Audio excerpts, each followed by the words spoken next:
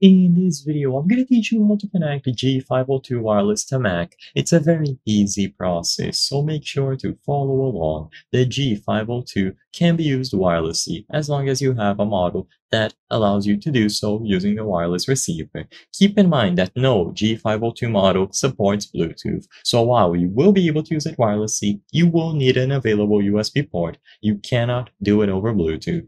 So most wireless models will include the Lightspeed receiver. All that you have to do is set it up so you can connect the receiver to the actual dongle and by using the provided USB-C to USB-A cable, you can either connect the mouse directly to the Mac, so plug one end of the USB-A to USB-C cable into the Mac and another one into the mouse. This will allow you to charge the mouse or use it wired.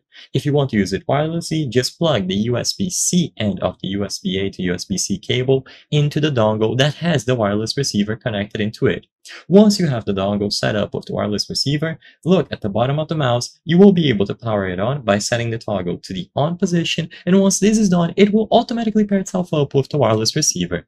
Now, you will be able to use your G502 on your Mac you can go over to the official Logitech website and download G-Hub for macOS. And once this is done, you will be able to change a bunch of settings about the mouse. So for example, I have the G502X Lightspeed, and as you can see, I'm able to change the sensitivity, do assignments, and I'll be able to see the battery levels. You can keep the firmware up to date, so click on the settings option and you will be able to see the latest firmware available for your specific G502 model. As long as you have Lightspeed model, it is going to include the wireless receiver that you can use.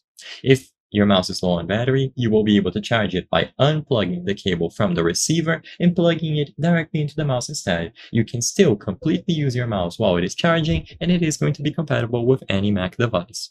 I hope I was able to help you on how to connect G502 wireless to Mac. If this video helped you, please be sure to leave a like and subscribe for more very easy tips. Thank you for watching.